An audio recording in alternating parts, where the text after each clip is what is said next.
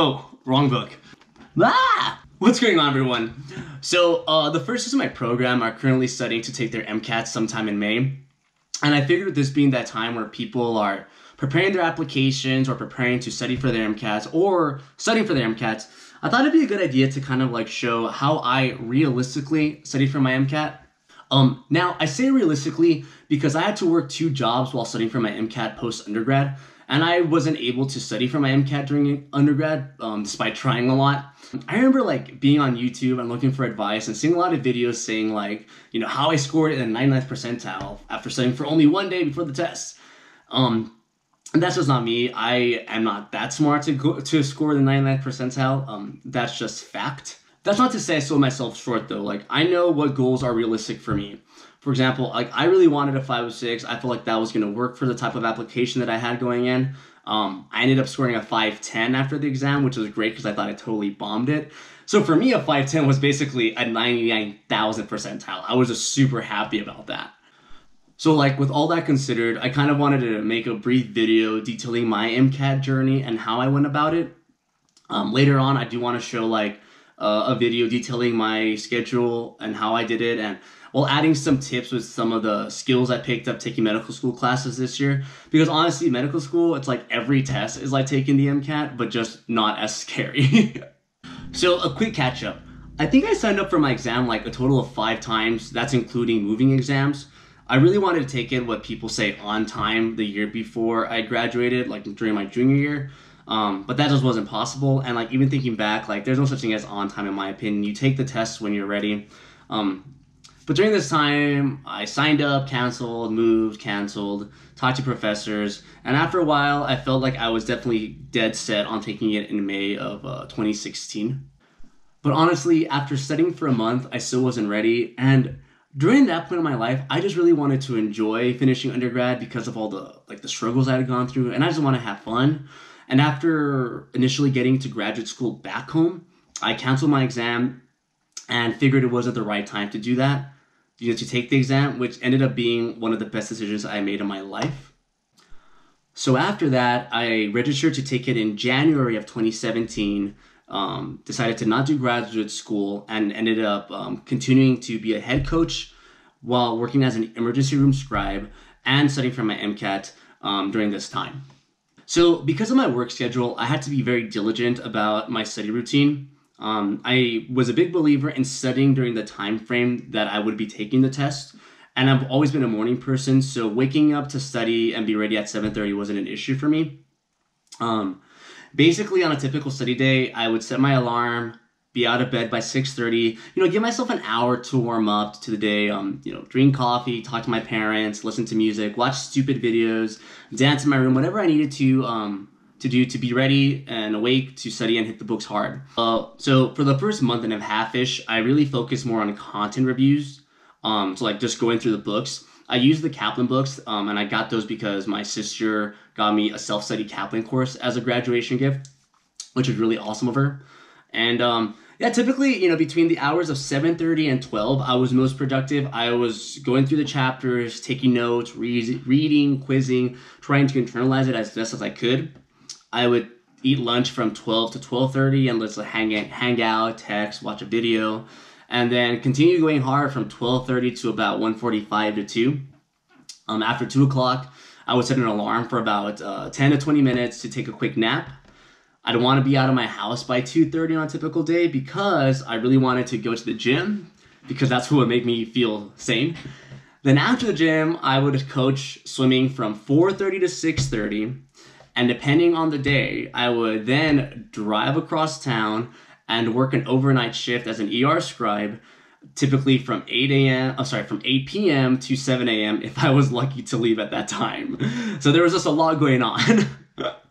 but you know, looking at it, I was definitely very fortunate to have two jobs that were very student friendly and very flexible with uh, the stuff I was working on at the time. And I know some people are not as flexible, and you might have families, you might have a really strict job. So one of my, you know, a big advice is take your study schedule, work it around your work schedule, and honestly, reach out to your bosses, reach out to the people you work with, and see, you know, try to get them to be understanding and kind of work with you during this hard and crucial time. So I kept this routine consistent throughout the process, really trying to do the bulk of my studying during the week.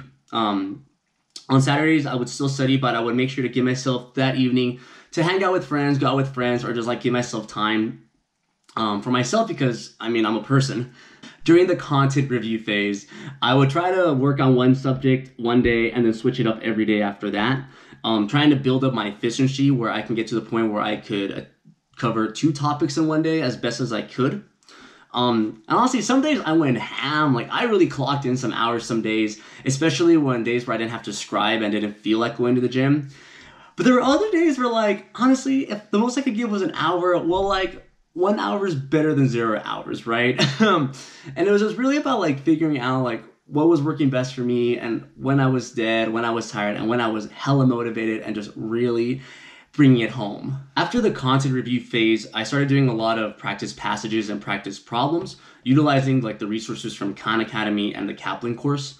Um, I didn't use the videos from the Kaplan course because I didn't feel like I needed them, um, but that's just me. But whenever I was stuck on something, which happened a lot, I would always reference YouTube and sometimes the Kaplan videos, kind of just to get a little bit more of a background information. I still kept the same time frame as best as I could.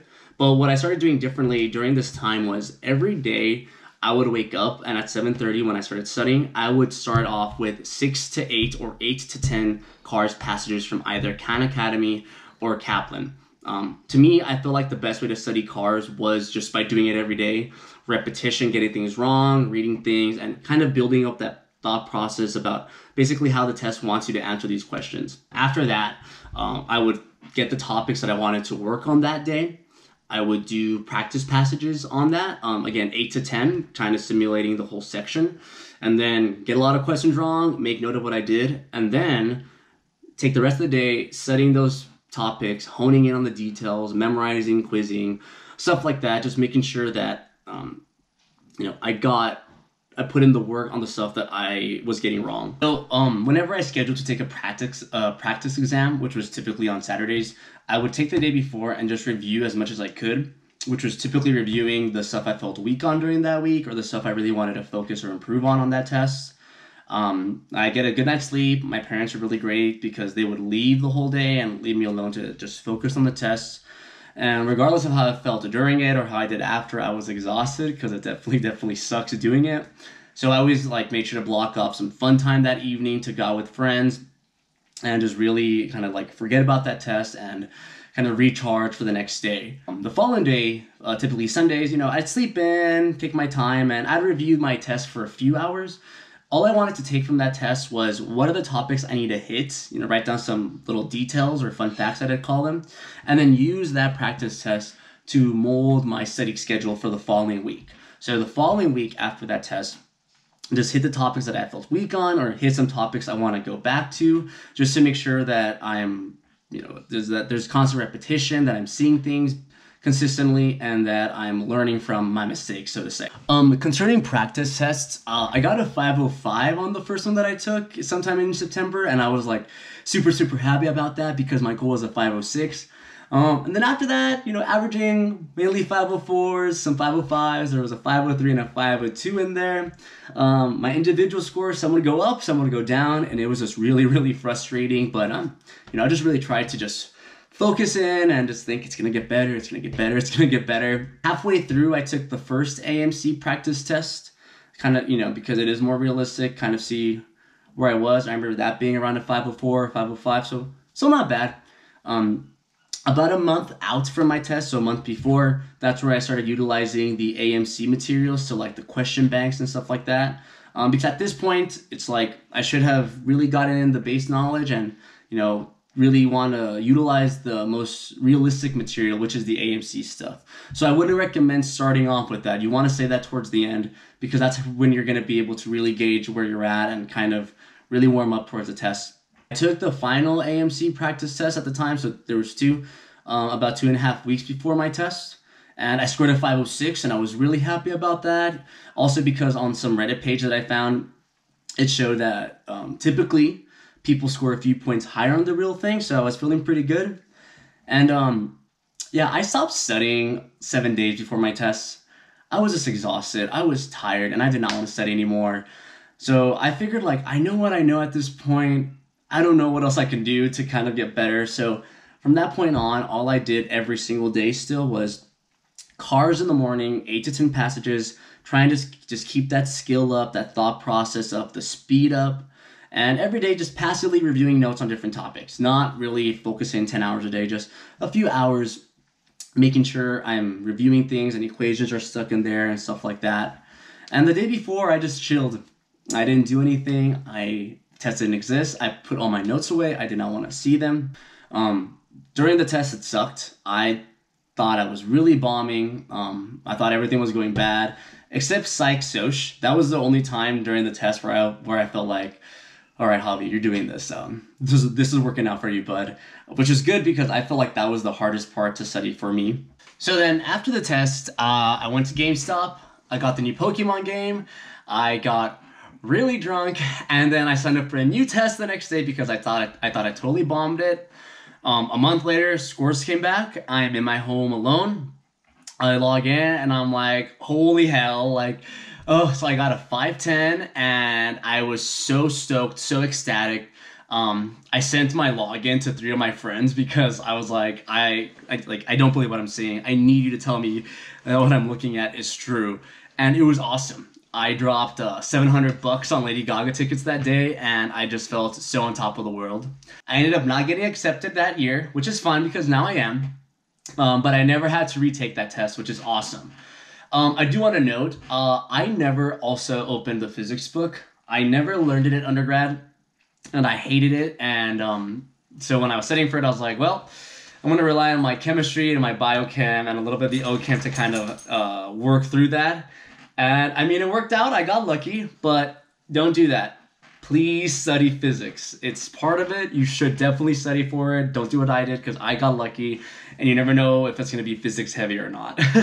Y'all, I have done the first year medical school classes, and as hard and as stressful as medical school is, nothing was scarier than taking that MCAT. Um, I'm a relatively relaxed person for sure, but I still took that test seriously and I still made a plan and focused on it. But the test isn't everything. You know, there are other parts to your application. There's the essays, there's the letter of recommendation, the activities, and if and you when if and when you get to it, there's the interview. You know, I knew that I had a really bad GPA going into this, which is why I took stock of the stuff that I could control, which included the MCAT. So that's why I really hit it hard. Um, if you're wondering, I ended up scoring a 126 on Chem Phys, 127 on Cars, 129 on the biology biochem, which I thought was my worst section when I was taking the test, and then a 128 on the um, psych soc. So y'all, like, definitely study hard, uh, but also make time for yourself. You know, like make your goals, make your you know the the stuff you want to achieve while you're studying, but if you don't reach them sometimes, don't beat yourself over it. Like, some studying is better than no studying, and honestly, sometimes fuck studying, you know? Like, don't study. Take a day off, play video games. If it's not what's scheduled, too fucking bad. Like, you know, you gotta relax. It's a stressful time, it's a marathon. And when you, when you take those days off, definitely make, make up for it the next day, okay? But don't beat yourself over it, you know? developing those self-care skills now is definitely going to go a long way during medical school because it is stressful and you need to know you need to learn that studying while it's a big part of our lives it is not our lives we are human and there are other stuff that are important to us working out friends reading writing doing literally nothing is also important so make sure you take this time to try to find that balance so with that being said um you know, like, subscribe, and share if y'all are liking these videos. Uh, I'm definitely to try to, you know, as application season comes closer, kind of share a bit more of my advice and, you know, the practical approaches that I took during this. I've, I've applied twice, so picked up a few things along the way. And, um, yeah, you know, uh, let me know in the comments what y'all think about this. Let me know if what else you'd like to see. I'm going to try to be a little bit more consistent. And as I've said a few times, I'm going to try to you know put out a video where I kind of walk into a little more detail uh, my study schedule and some of the tips I developed. But um, yeah, uh, hope you all like this. I'll see you in the next one, and uh, have a nice day. Bye bye.